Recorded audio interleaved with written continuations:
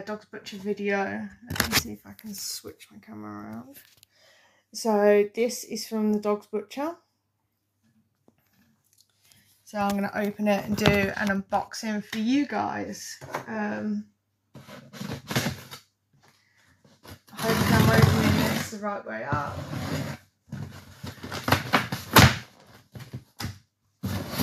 Oh, I have opened it the right way up. Oh god, that's my bloody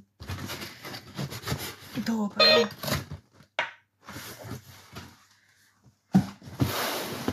So this was a small order. This was only, um, I think it's like 12.5 kg of dog food. So this is a really small order for us, but they're having a problem with stock at the moment. Um, but they have got new um, freezers down on the ground now. So hopefully their stock is going to start to level out.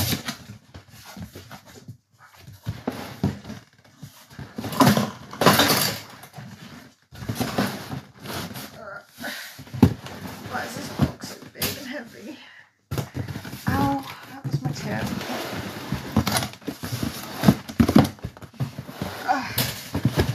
There we go, the big old boxes opened. So, let's see what we have inside. So we have, this arrived today, uh, earlier today, so some of it is still, you know, some of it's starting to defrost a little bit, but it did arrive, um, it would have arrived frozen. Um, but obviously I'm going to process this all and get it all sorted out as soon as possible whole um, oily seasonal fish. There we go. Very good quality looking fish. Duck necks. Then we've got some uh, duck feet because um, Bimba's small little body. um, pig ears. These were dropped down to one pound each. I think I got three of these boar chunks.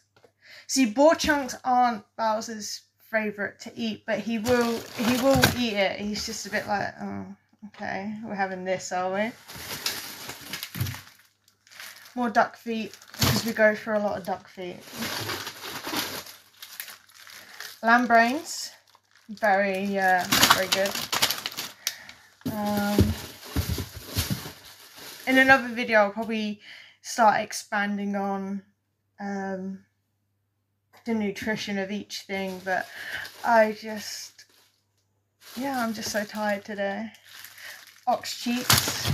It's because at the moment I'm working three jobs, so, mm. um, meaty ox chunks. Some more pig ears. Lamb lung uh, more pig ears, more lamb lung, and whole ox tongue. Um, this is all that I could get um, at the moment because obviously they're getting new fridges down, uh, freezers down and everything. But yeah, this is what we have today. And as you can see, it's all in wonderful condition.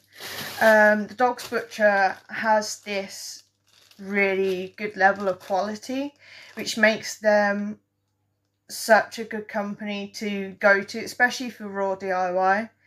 Um, their customer service is also amazing. You know, I I'm so happy with their customer service that I wouldn't go anywhere else. When I have gone elsewhere in the past, I've had problems. I have problems with three different companies now. Um, one is well known for not being very good and people don't like them for a lot of reasons. One, it's it's a low budget kind of company, um, which is good because it makes raw food affordable for more people. But it just it, it wasn't for me, so I'm happy found the dog's butcher. But yep, that's everything we've got today. I'm gonna end this video and I'm gonna start slicing and dicing. I'll see you guys in a bit. Bye.